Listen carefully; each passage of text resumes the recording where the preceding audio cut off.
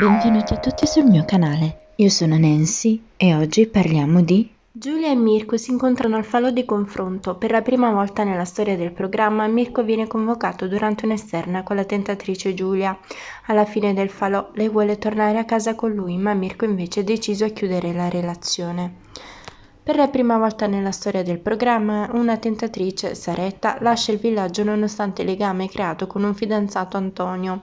Lei sente che il loro rapporto può essere solo di amicizia. Titti ritiene di aver visto abbastanza e chiede un falò di confronto anticipato. Durante il falò di confronto Titti decide di lasciare Antonio e viceversa. Lui non vedeva l'ora di chiudere la relazione.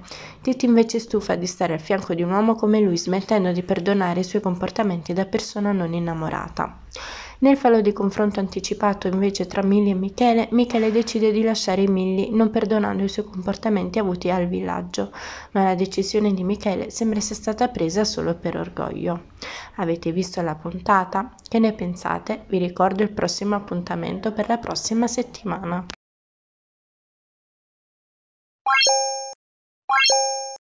Thank you.